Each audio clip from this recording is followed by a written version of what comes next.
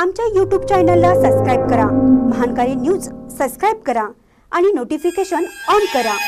Notification on केल्यामुळे आमचे update आपल्यापर्यंत सतत पोहोचेल. विकास कामे सुरू पण गुणवत्तेकडे प्रशासनाचं दुर्लक्ष. ग्रामपंचायतीच्या काळात न झालेली कामे आता सुरू झाली आहेत.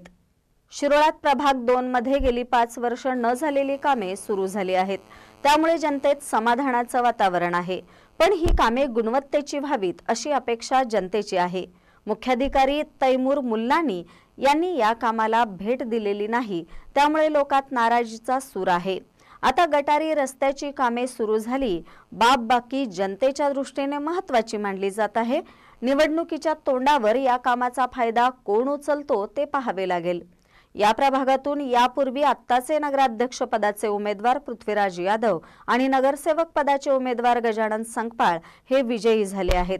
पण काम उशिरा सुरू झाले असल्यामुळे जनता कोणाला पुन्हा सभागृहात पाठवते ते पाहावं लागेल. यादवनगर येथे ही विकास कामे सुरू झाली आहेत. महानकरे न्यूजसाठी शिरोळहून संदीप इंगळे.